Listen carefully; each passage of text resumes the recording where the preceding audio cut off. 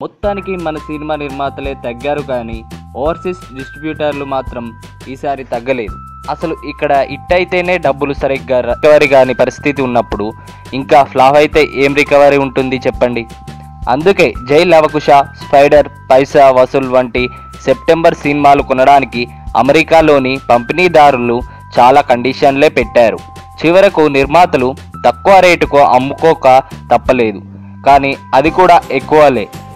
ఉదాహరణకు స్పైడర్ సినిమాకు ఏకంగా ఇరవై ఒకటి కోట్లు కావాలంటూ కోట్ చేశారు.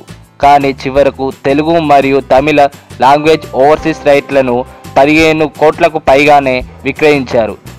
అయినా సరే మూడు పాయింట్ ఐదు మిలియన్ డాలర్లు కలెక్షన్స్ వస్తేనే స్పైడర్ వీళ్ళకు ఒడ్డుకు లాగే ఛాన్స్ ఉంటుంది.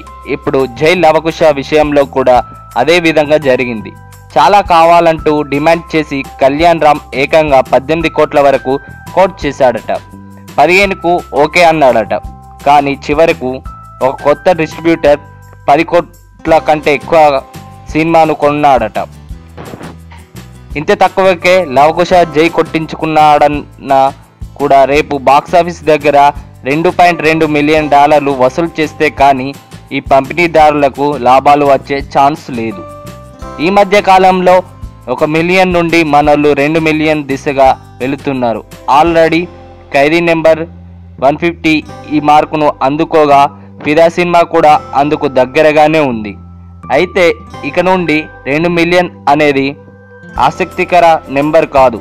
ఖచ్చితంగా అందుకోవాల్సిన నెంబర్. లేదంటే ఈ సినిమాలన్నీ పంపిణీదారులను ముంచేశాయి. Let us see. Please subscribe free ticket.